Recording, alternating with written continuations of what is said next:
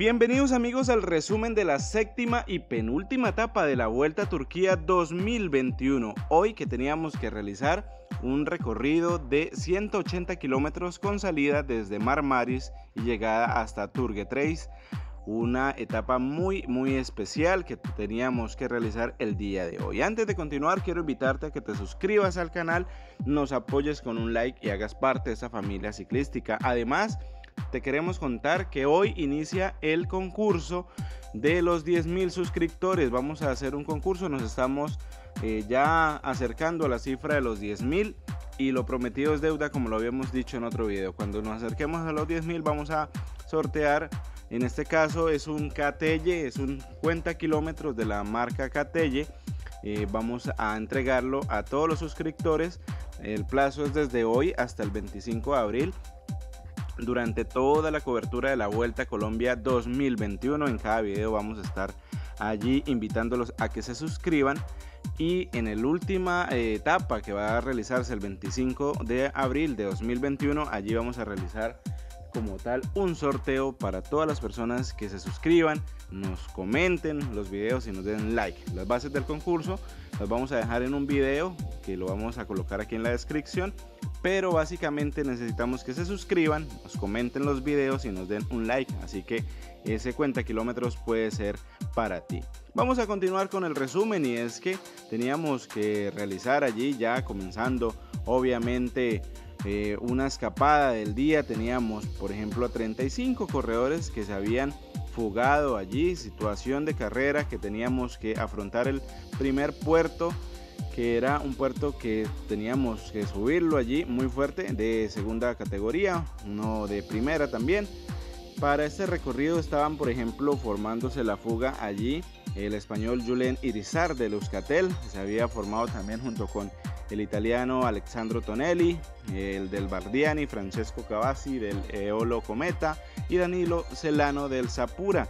Se habían escapado allí junto con demás corredores que se hacían de las suyas en esta fuga que se situaba ya en el kilómetro 30 para la meta. Los fugados coronarían con dos minutos de ventaja sobre el grupo de líder de José Manuel Díaz, este español que sigue liderando esta competencia y que regresarían allí como una parte excluida de ese pelotón porque los iban a dar la meta. La diferencia ahora de los fugados que no llegaría a los 3 minutos comenzó a descender y pues tras subir obviamente la segunda dificultad del día, una montaña muy fuerte que tenían que ser allí.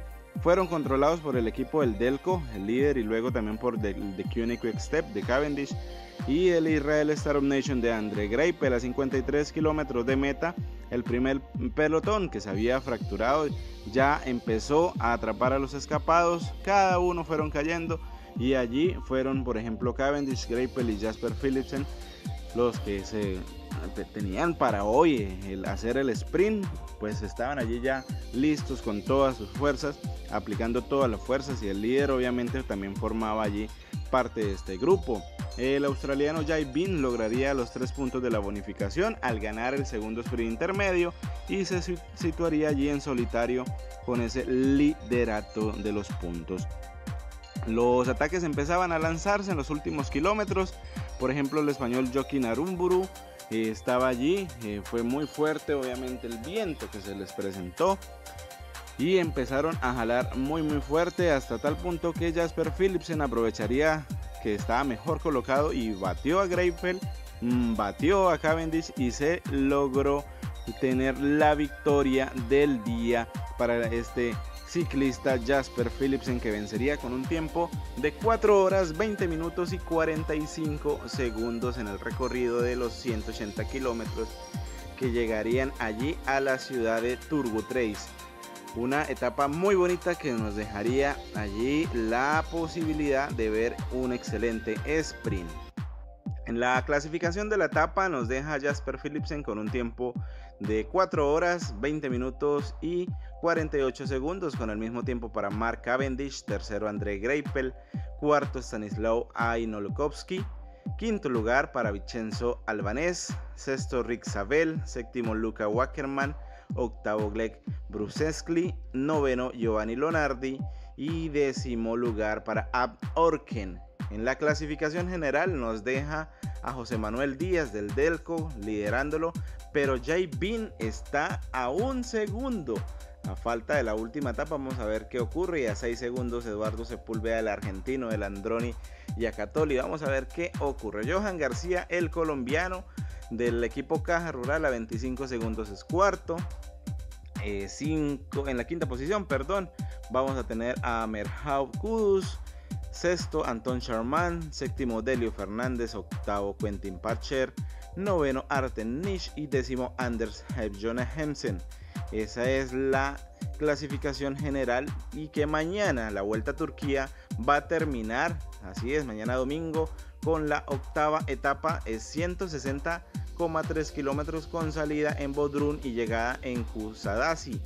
Una etapa que estamos viendo acá el perfil que nos va a mostrar un serruchito completo y póngale atención a ese premio de segunda categoría antes de llegar allí a la meta pues siempre está un poco retirado pero pues ahí vamos a tener varios esfuerzos y vamos a ver qué ocurre el día de mañana.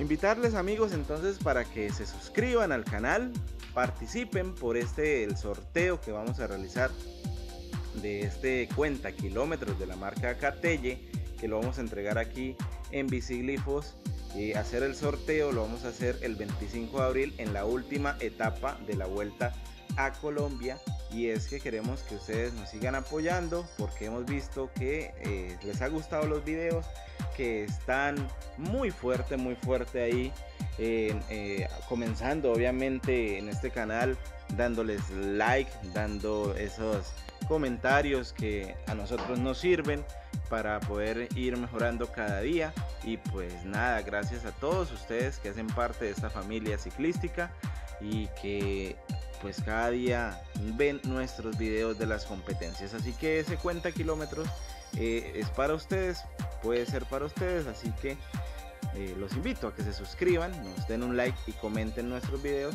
Entre más veces lo hagan, muchas posibilidades van a tener de ganar. Así que presten mucha atención a todos los videos porque vamos a colocar algunas sorpresas durante los videos. Así que suscríbanse al canal, y no se pierdan la Vuelta a Colombia 2021 porque este sorteo va a estar condicionado para la Vuelta a Colombia. Así que pues nada amigos, gracias a todos ustedes y recuerden, si están en el exterior pues se pueden suscribir. En caso tal, el sorteo es solo para Colombia, pero si tienen amigos que vivan en Colombia, pues si se lo ganan ustedes, se lo pueden, eh, podemos coordinar para entregárselo a ellos. Así que eh, este sorteo es para todos ustedes. Gracias por ser parte de esta familia ciclística. Gracias por ver nuestros videos. Y nada, nos vemos en un próximo video. En este caso vamos a realizar ya en breves el resumen de la vuelta a la comunidad valenciana 2021 y después vamos a tener el video de la etapa número 1 de la vuelta a Colombia 2021 así que chao chao amigos mi nombre es William Porras y gracias por hacer parte de Biciglifos, una familia de bielas.